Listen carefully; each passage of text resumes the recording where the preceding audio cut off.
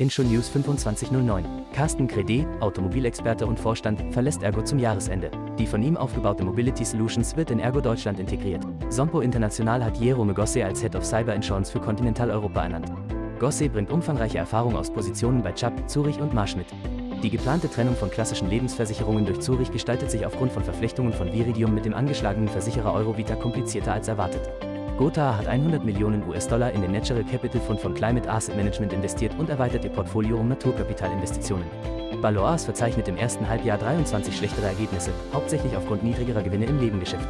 Dies führte zu einem Kursrückgang von 7,8%. Jung, DMS und Ski erwirbt sämtliche Anteile an der Plattform Plug Insurance, die auf betriebliche Vorsorge spezialisiert ist, aufgrund der Übernahme von E-Vorsorge durch Xempus. Ergo wird künftig alleiniger Eigentümer des norwegischen Krankenversicherers Storebrand Helseforsikring. Die Gründe für den Verkauf blieben unklar.